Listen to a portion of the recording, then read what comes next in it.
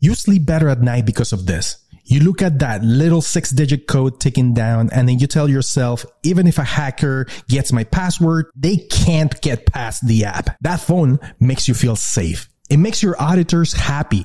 It gets you that green check mark on your cyber insurance application. But here's the uncomfortable truth I need you to hear. That code is just theater. While you're staring at those six digits, I am not trying to guess them. I'm not trying to crack your MFA. I don't even want your password. It takes me about 45 seconds to bypass your gold standard security. And once I do, your MFA app never beeps again. I am in your email. I'm in your SharePoint downloading files. I am reading your Teams messages and you're still staring at your phone thinking that you're locked down. Today, on the first briefing of root access, we're going to destroy the myth of multi-factor authentication.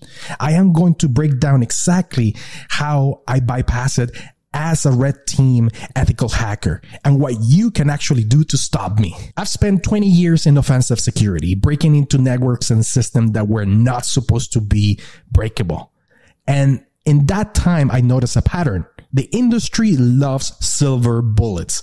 They love that one app that you can buy, you can install, deploy, and then just forget about. And for the last 10 years, that silver bullet has been multi-factor authentication.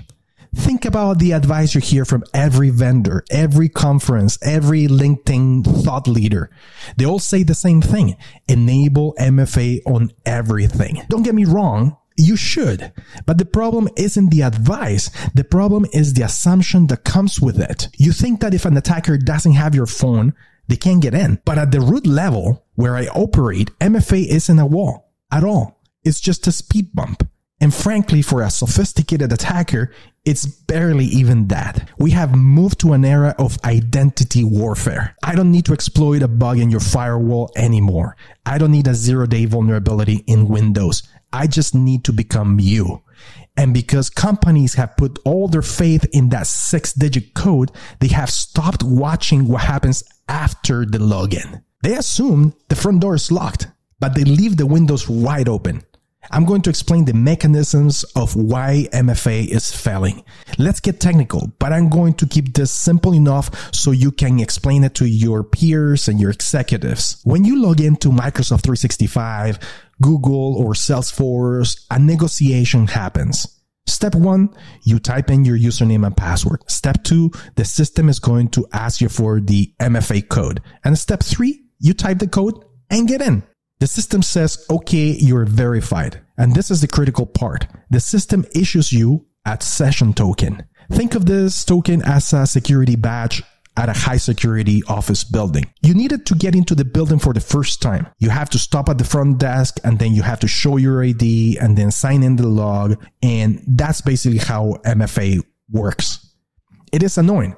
It takes time, but it works. But once the guard prints the badge and hands it to you, do you show your ID every time in every single door? Do you show your ID uh, when you go into the elevator or into a bathroom? No. You just tap the badge, right? The badge is trusted. In the digital world, that badge is what we call a session cookie.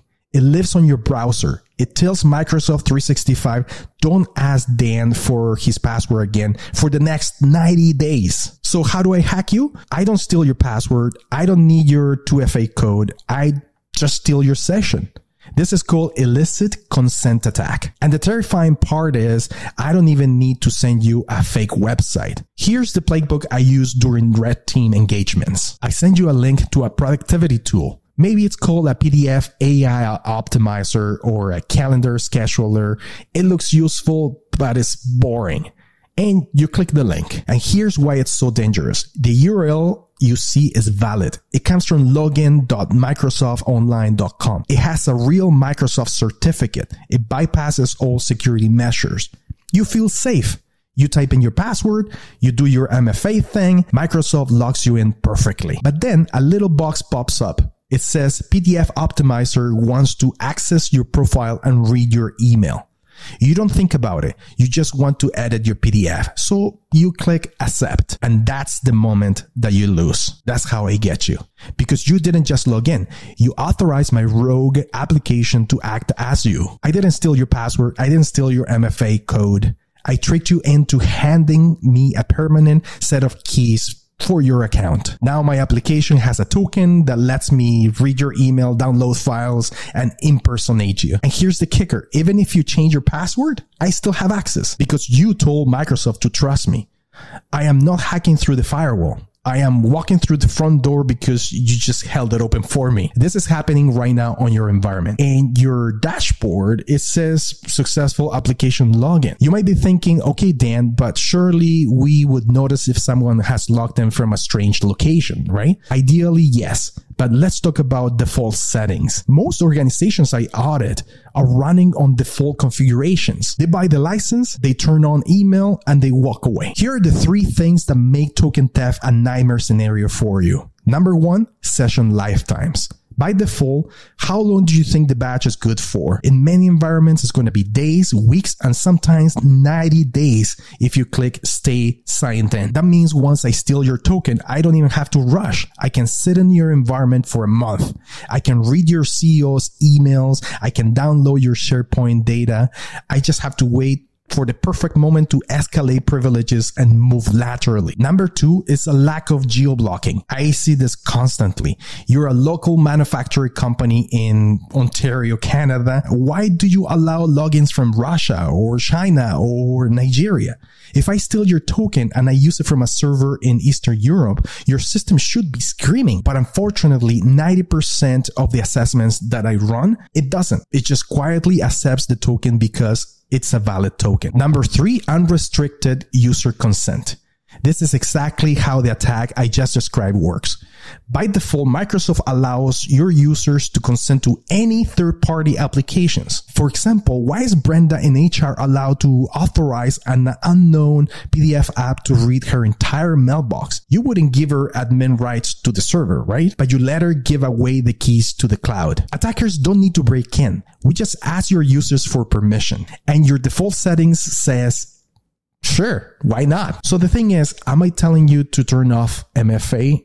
Of course not. That would be stupid. MFA filters out the noise. It stops the bots or the amateurs or script kiddies from getting into your system. But if you want to stop me, you want to stop a targeted human attacker. You need to escalate your cybersecurity. You need to move beyond the app. Here's your directive for this week. This is your three step framework for proactive prevention. Step one, implement a consent lock. This is the immediate fix for all the illicit consent attack I just demonstrated. You must disable user consent for all third party applications. By revoking permissions to approve applications, you force all requests, including the rogue ones, to go to a centralized IT administrator. This is the only way to kill the attack where you trick the user into holding the front door open for me. Step two, deploy phishing proof authentication. Now let's address the threat of token theft. Even Authenticator app where you type the code can be phished. You need to move to FIDO2. This means hardware keys like YubiKeys or platform biometrics like Windows Hello. FIDO2 keys are cryptographically bound to the domain. If I send you a fake website, your key will realize, hey, this is Microsoft.com and it will refuse to authenticate. And step three, enforce strict contextual trust. Stop trusting sessions tokens blindly. Trust the context. What I mean by context, implement conditional access, for example. Set a rule. I don't care if you have a badge, but if you're coming from a non-compliant device or a country we don't do business with, access is completely denied. And reduce the blast radius. Shorten your session lifetimes. Instead of 90 days, do a couple of weeks. Force re-authentication for critical apps. If someone wants to access the finance folder, make them tap the key again. Here is the reality check. Right now, you probably have dozens of active session tokens floating around in your environment. Some might be on old laptops, some might be on employee iPads, and some might be on hackers' servers in a basement. If you're running Microsoft 365 and you're worried about your default settings, we can run a comprehensive security audit. It's not just a generic scan. We look specifically for the things that I talked about, such as legacy authentication, conditional access gaps, and token vulnerabilities. We will tell you if you're actually secure or just compliant. I put the link in the description below. Don't wait for a breach to verify your settings. I am Dan Duran. Stop trusting dashboard, get root access, subscribe to Get Cyber, and leave me a comment below.